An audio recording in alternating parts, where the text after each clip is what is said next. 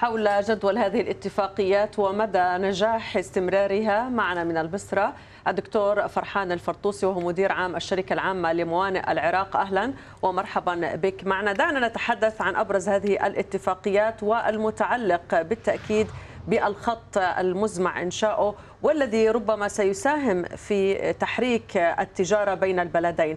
نتحدث عن مشروع طريق التنمية الذي هو عبارة عن طرق برية وسكة حديد تمتد من العراق إلى تركيا وموانئها. طوله حدود 1200 كيلومتر داخل العراق. الهدف منه نقل البضائع بين أوروبا ودول الخليج.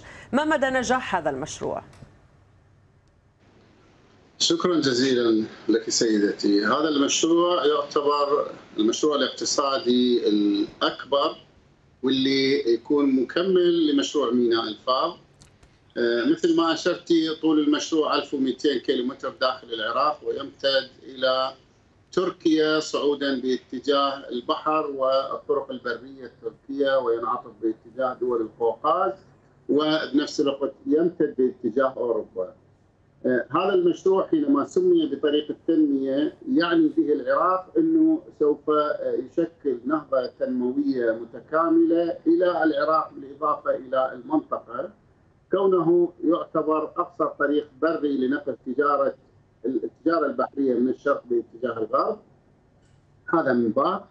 وخصوصا إنه ما تم إعداد ميناء الفاو بناء على دراسة جدوى اعدت في عام 2009 وحدثت 2023 إنه ميناء الفاو يكون محطة ترانزيت عالمية. بالإضافة لذلك إنه الكوريدور اللي هو سوف يشكل طريق التنميه سوف يكون مخصص لنقل البضائع سوف يكون مخصص بمساحات واسعة على جانبي الطريق كحزام اقتصادي متكامل. هذا الكوريدور أكثر من جهة قطاعية تبنت منه سوف يكون لنقل الغاز مستقبلا منه يكون لنقل الكهرباء مستقبلا لنقل قابلوات الاتصالات الضوئية. بالتالي راح يكون مشروع متكامل. العراق حسبه صحيح دراسة الجدوى أثبتت إنه هذا المشروع ناجح. العمق الاقتصادي وبنفس الوقت الجيوسياسي لهذا المشروع يؤكد نجاحه نعم العائد على الإيراد لدراسة الجدوى أيضا أكد نجاح هذا المشروع اتصالاتنا مع الجهات اللي راح تكون فاعلة في تنفيذ هذا المشروع توقعاتهم والطلب لدخول العمل في هذا المشروع أيضا تعكس نجاح هذا المشروع. جيد. دكتور يعني كانت هناك بعض التقاطعات بين بغداد وأنقرة في كثير من المواضيع العالقة، إلى أي مدى مثل هذه الزيارة تعتبر تدشين لمرحلة جديدة تجاوزت كل هذا الماضي وعودة إلى ذي بدء فيما يتعلق بهذا الطريق صاحب التكلفة الأعلى ب 17 مليار وأنتم تبحثون ربما عن طرق تمويلية، ما هي طبيعة هذه الطرق؟ هل هناك دول من الممكن أن تشارك أيضا؟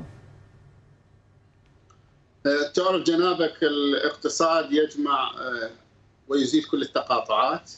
التطلعات لنهضة الشعوب أيضا تزيل هذه التقاطعات. بالتالي اليوم العراق توافق مع تركيا بكثير من التفاصيل سوف تزيل إن شاء الله هذا المشروع الاقتصادي يجعل من العراق وتركيا أتوقع خلال هذا العقد يعتبر أكبر مشروع اقتصادي عالميا. ناجح بكل المعايير. لهذا السبب تجد إنه الوفد التركي والوفد القطري والوفد الإماراتي يوم أمس كانت وفود كبيرة جدا وخصوصا الوفد التركي.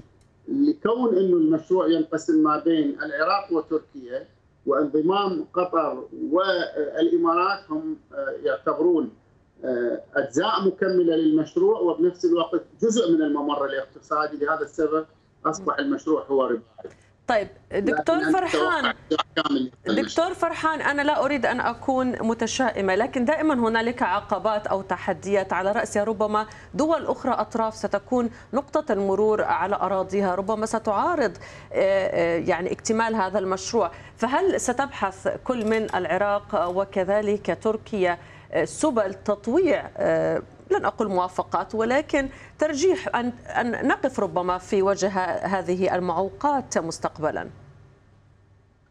لا أنا أتقاطع معك في هذا الأمر كون إنه دراسات الجدوى أفضت على إنه هناك تزايد واضح في حجم التداول التجاري العالمي اليوم ثبتنا رقم هو 800 مليون حاوية يتم تداوله عالميا راح يكون الكيرف تزايدي لحد عام 50 راح يكون مليار ونص. حجم قناة السويس المعتاد هو 10% حينما تناول اليوم 83 مليون حاوية بالتالي هناك تزايد يجب أن توسع قناة السويس خلال الأعوام القادمة.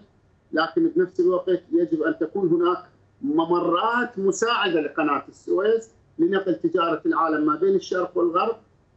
ونحن نعرف إنه 80% من تجارة العالم تنتج في الشرق في الصين بالدرجة الاساسيه بالتالي هذا المشروع سوف يكتب له النجاح لأنه طريق إنقاذ لنقل تجارة العالم من الشرق إلى الغرب، تعرفين الممرات البحرية ممرات لا يمكن زيادتها.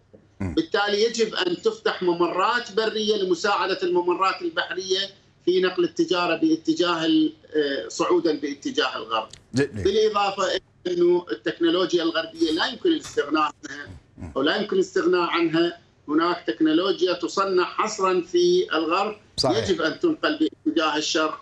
وهذه أكو نقطة مهمة جدا. م. بعض الأحيان تجد أنه هناك بضائع تنقل من خلال الجو.